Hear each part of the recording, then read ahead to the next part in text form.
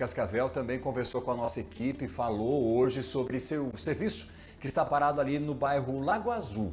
A Daiane Santos acompanhou essa entrevista, vai trazer para a gente os detalhes agora. Você que mora aí no Lago Azul, você que se interessa pelas questões desse bairro tão importante, tão distante e que, onde os moradores se sentem abandonados, preste atenção no que nós temos sobre isso. Isso mesmo, a gente comentou por inúmeras vezes aqui na nossa programação a respeito dessa novela que virou o asfalto ali no Lago Azul e também na região do Tarumã. A mesma empresa era detentora de inúmeras obras, né? De muitos, muitas ruas nessas localidades aí nessas regiões, principais ruas, né? Do Lago Azul, do Tarumã e a empresa simplesmente abandonou os trabalhos sem a conclusão, né? Desses trabalhos. Claro que essa empresa, conforme a explicação dada pelo secretário de obras do município, Sandro Camilo Rocha, essa empresa ela vai ficar sim é, sem ali poder contratar com o município, ela vai ficar também com o seu nome em tese manchado, né, nesse meio público e vai responder por outros danos ali, por multas também, por toda, por toda, todo esse dano causado aos moradores e também esse atraso todo para essa obra. A gente conversou com o secretário, que deu também explicações de como deve ser o processo a partir de agora, porque tinha a expectativa do município assumir ali com uma nova usina de asfalto, dando né, a, a, todo o asfalto, a malha asfáltica e a, a matéria-prima, né?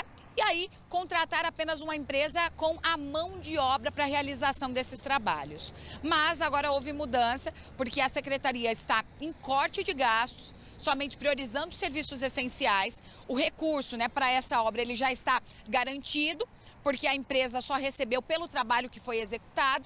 Então, agora, o Instituto de Planejamento, juntamente com a Secretaria de Obras, está realizando um novo processo para o lançamento dessa licitação, para que uma nova empresa assuma. E o secretário explica todos os passos. Situação atual do Lago Azul.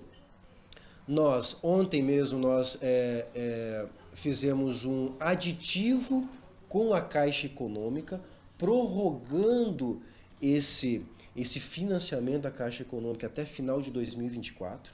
Tá? Porque esse recurso é um financiamento utilizando o FGTS. Então, primeiro, nossa ação, prorrogamos esse, esse, essa obtenção desse recurso até final de 2024, garantindo esse, esse recurso para a execução do Lago Azul.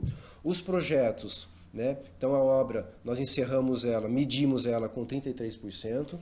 Então parte da obra foi executada. Esses projetos voltaram, esse orçamento voltou para o Instituto de Planejamento de Cascavel para refazimento dos projetos, né? ajuste de projeto e uma nova planilha de orçamento.